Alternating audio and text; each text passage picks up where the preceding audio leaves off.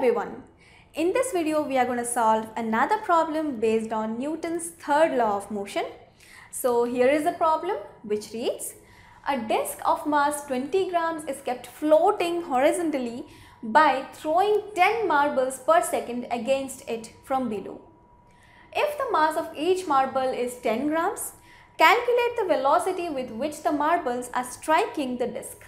The marbles strike the disk normally and rebound, rebound downward with the same speed. So in this problem there is a disk which is horizontally placed and this disk is not moving downwards but it is maintained in its own position uh, and this is done by throwing marbles onto it from below.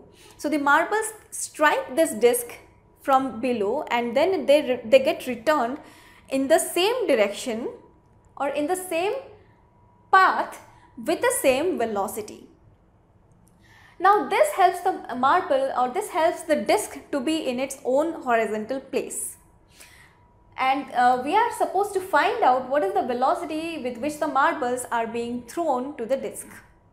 So first of all let us list out whatever is given in the question that is the mass of the disc is given to be 20 grams which is 0.02 kilograms Mass of each marble is given to be 10 grams which equals 0.01 kilograms.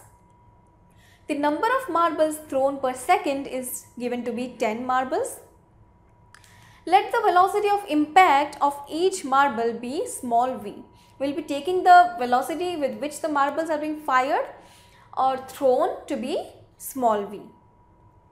Now, it is given that the marbles rebound normally that is in the downward direction with the same velocity in the question. So, the change in momentum of each marble is given by m into v minus of minus m into v.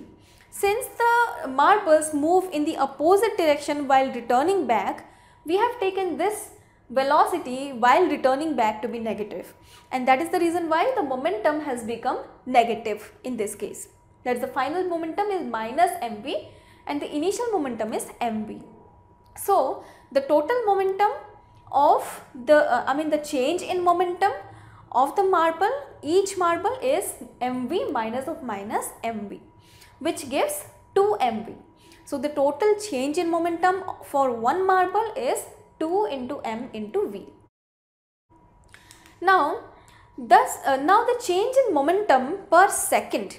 Now, in 1 second uh, there are 10 marbles which are thrown onto the disc from the downward direction and therefore the change in momentum per second will be equal to the number of marbles thrown per second multiplied by the total change in momentum for one marble.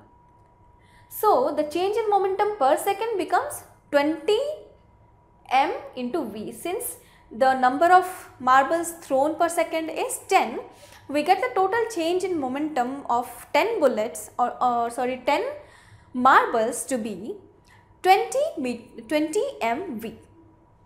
So, here we have the change in momentum per second equals to the force exerted. So we know that the change in momentum per unit time is equal to the force.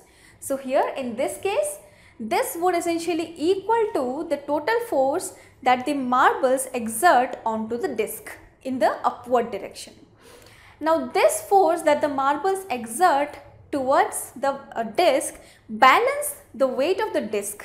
Uh, this force balances the weight of the disc and the disc uh, stays in the same horizontal position. Now the force that the 10 marbles exert we have found it to be 20 m into v and according to the third law of motion this force exerted by the marbles must be equal in magnitude to the weight of the disc in order for the disc to keep floating horizontally in the same position.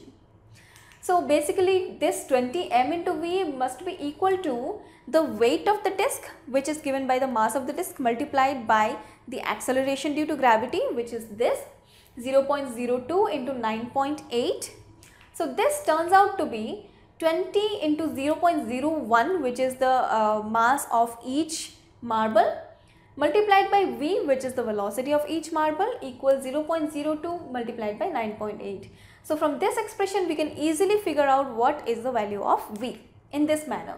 That is V equals 0.02 multiplied by 9.8 divided by 20 multiplied by 0.01. Now this turns out to be V equals 0.98 meters per second. So the velocity of each marble with which it was thrown and which and with which it moves downwards is 0.98 meters per second. So this brings us to the end of this video and I hope the solution was fully understandable to you. Thanks for watching. Tutorialspoint.com Simply easy learning.